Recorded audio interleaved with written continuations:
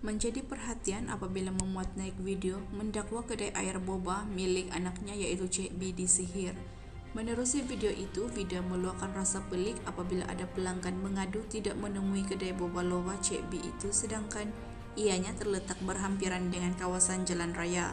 Kata Vida lagi, ada pelanggan kecewa apabila sampai ke lokasi berkenaan mengatakan kedai ditutup sedangkan ia dibuka setiap hari.